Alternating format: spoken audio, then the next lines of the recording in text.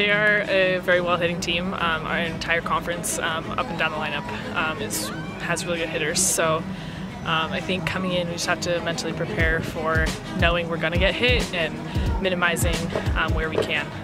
Um, I think we just emphasize fighting and working together, no matter how far down we are.